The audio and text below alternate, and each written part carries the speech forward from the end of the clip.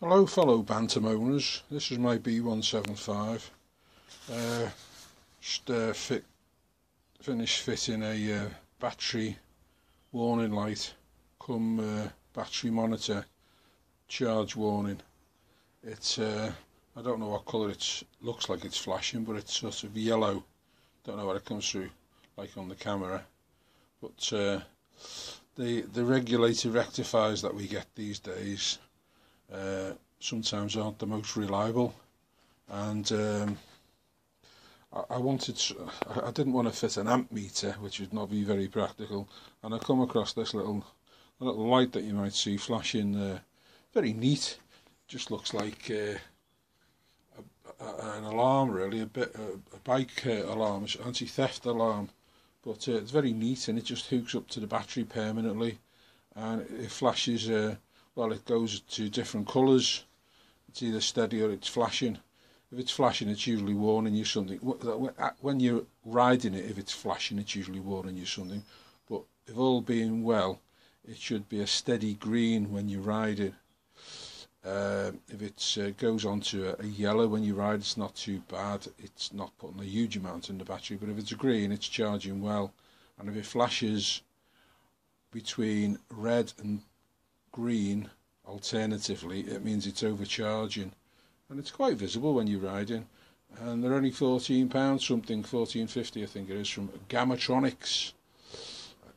Yeah Gammatronix. It's a very very simple little thing. It's just got two wires coming from it. A little LED and there's a little circuit in, in, in on the back of it but it's you only need about a 12 or 13 millimeter hole to pass it through there there's two thin wires and they recommend you can continually connect them to your battery.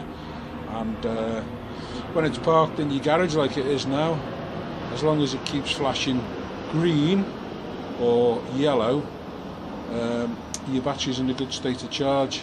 It starts flashing uh, it's red. I'd have to look at the instructions again. It means your battery's going a bit flat.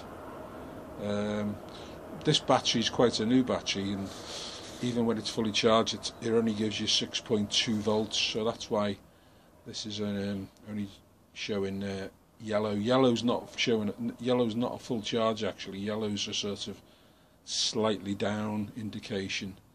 But uh, and the, the, the other the, obviously the other use of the little flashing light there it uh, it makes people think it's got an anti-theft device on it.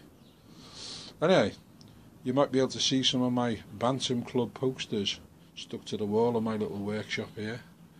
I always, uh, nice little posters. Uh, there we go, there's some of them stuck to the door. And there's something that my daughter bought me for Christmas. That, that's actually made of metal, quite a nice, it looks looks like an old enamelled uh, plaque, but uh, it's uh, it's quite it's quite modern reproduction. Anyway, there you go. There's a little shot of my little BSA B175. Uh, nice little machine. Very much enjoy it. Anyway, there you go. Hope, hope someone finds that little charge warning device handy. As I say, it does give you the opportunity to, uh, while you're riding, to make sure that you're you're not overcharging your battery. Because I've I've had uh, happened to me twice now in the past where the regulator rectifiers failed, and the the, the wet acid battery is uh, has overflowed and made a right mess of my silencer. So uh, with this thing I can keep a check on the charge and I've checked it with a multi-tester with an amp with a uh, voltmeter and it's it's quite accurate. It's quite accurate. So Ga Gammatronix is the firm that sells them, a British company, and they, they make them themselves. They make all kinds of things actually for motorcycles, including a little uh, 6 volt module which I've got for this, which is uh, does away with the condenser and it just makes turns the points into a simple switch. So there's no heavy current going through them so there'll be no erosion of them and they'll virtually last forever a, a set of points. Uh, I think they're th th about 30 quid. Uh, I haven't actually fitted that yet but it, I've just got it just uh, for next time the condenser fails because the condensers don't seem to last very long these days like most of the parts we have to put up with. Very poor quality. Uh, anyway the um, next time the condenser fails, I'm going to fit me uh, Gammatronix 6 volt.